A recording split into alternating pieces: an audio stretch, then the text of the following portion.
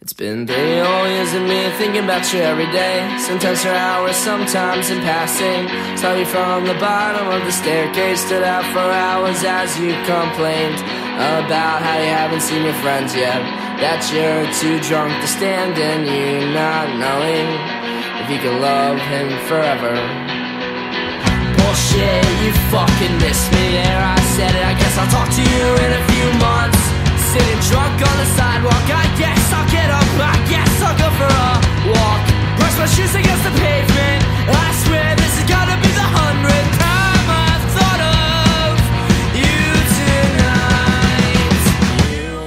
The only one who thought of us that way.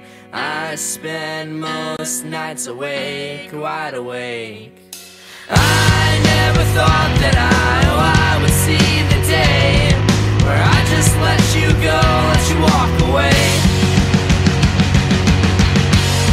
Where I let you walk away. to call you crook, called you abandoned. There ain't no other good damn reason why so many months. So I